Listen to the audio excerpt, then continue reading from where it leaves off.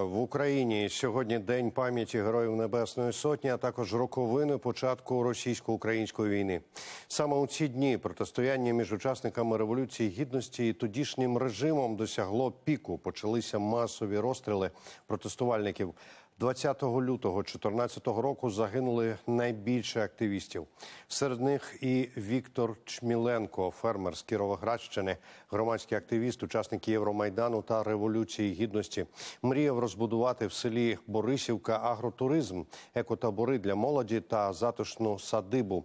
Утім, ці мрії та плани обірвала куля снайпера 20 лютого 2014 року на вулиці Інститутській у Києві. Туди Віктор Чміленко прибіг із помаранчевими ношами, аби допомогти, е, допомогти пораненим.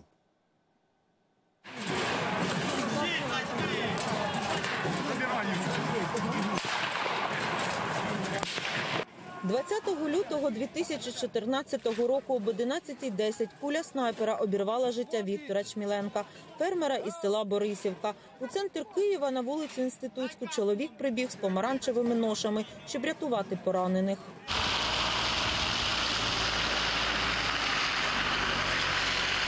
Село Борисівка, батькова хата, де жили. Я і дві мої сестри. Тут наше дитинство проходило до якоїсь пори е, росли. Пам'ятаємо, як це все будувалося, що, ну, як воно робилося, все. Думав, внуків буде. Ну, нікого не дождався. Син Віктора Чміленка теж Віктор. Разом з другом родини Олексієм приїхав провідати батьківську хату, будинок, садок, подвір'я. Все тут своїми руками створював, садив та плекав його батько. Це мати стоїть, е, ну, махає е, батьку, там зустрічає, наприклад, ну, такого, е, ну що, степ, тварини і будинок, і що його чекають. Ну, ну, вже так 10 років, як немає батька, ну, стоїть все. Батьку це дуже подобалося, він свою роботу, любу, яку він робив, він вложував всього себе. Якщо в тебе є ну, мрія, почуття якісь, і от воно все складається в таку картину.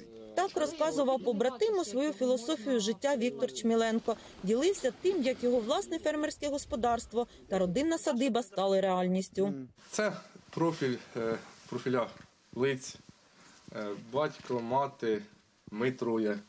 І от на момент, е, коли там він це зробив, собі хотів оставити якби таку пам'ять, щоб була. Дружина Героя Небесної Сотні з доньками нині за кордоном. Сім'я постійно спілкується за допомогою відеозв'язку. Я пам'ятаю, як ми розмальовували цей ж будинок. Е, малюнки, то ж там е, малювали соняшники. І папа це ж так камінчиками пообкладав, викладався вже своїми руками. Ну і каже, що будете приїжджати з внуками. Ну, Стільки планів папи було, що постійно е, думки там. От вірите, постійно думки там. І за сина, за внучок, за невістку, ну.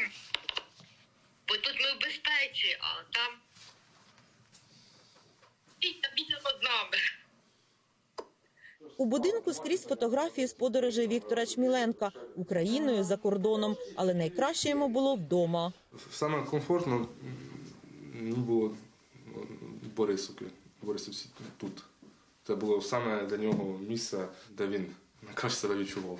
Тож ми тут його і поховали. Воля, вітри, які дують, степ, річка. Що може бути ще красивіше? Ми от е, Віктора слова, що ми до кінця не розуміємо, які ми щасливі. На хату. На Садибу. садибу, да, де жив.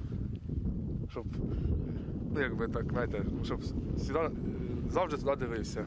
Якщо безправ'я стає законом, супротив стає обов'язком. Ці слова Віктора Чміленка на його могилі у селі Борисівка.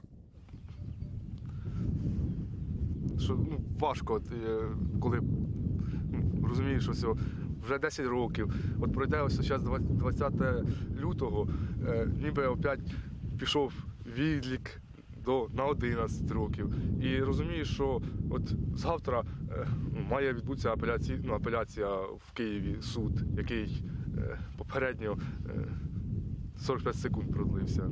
Суд по вбивцях, по Беркутні, по мінтам, то- тоді, ну, цим всім. За 10 років вже можна було 10 разів е, їх посадити, доказати їхню вину е, чи провину е, за виконання тих наказів, але, на жаль, якби цього не, не, нічого не, не стається. А вони от ось вбили людину, там, батька мого, ще 107 людей, стільки покалічили.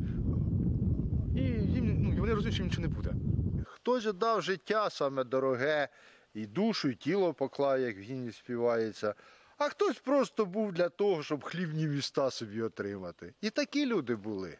Як не сумно, як не соромно. Олена Бринза, Роман Круніч, подробиці телеканал Інтер, Марафон. Єдині новини.